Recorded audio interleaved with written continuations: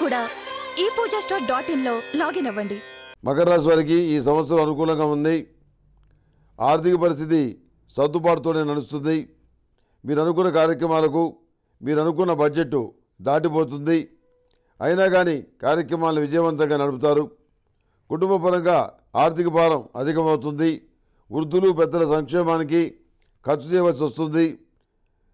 విద్య పోటీ పరీక్షలు విదేశీయానం విదేశాలు చదువుకోవడానికి చేసే ప్రయత్నాలు ఇవన్నీ ఫలించిన ఎక్కువగా ధనాన్ని ఖర్చు పెట్టవలసిన పరిస్థితి గోచరిస్తోంది.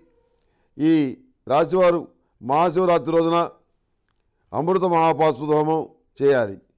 గ్రీన్ కార్డు కోసం ప్రయత్నం చేసేవారికి సానుకూలమైన ఫలితాలు వస్తాయి. సంతాన పురోగతి కోసం గట్టిగా ప్రయత్నాలు చేస్తారు.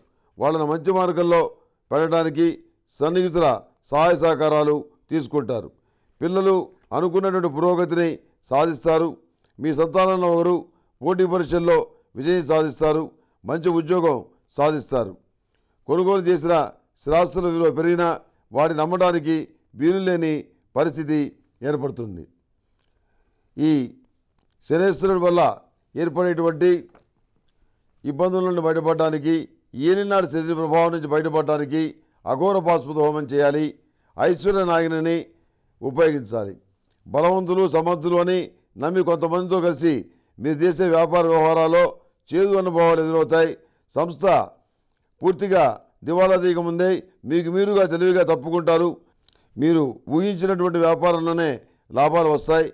ఎంతో కాలంగా అనుకుంటున్న గృహ నిర్మాణం ఈ సంవత్సరం ముడిపడుతుంది. ముఖ్యమైనటువంటి సభల్లో ముఖ్య అతిథిగా పాల్గొంటారు.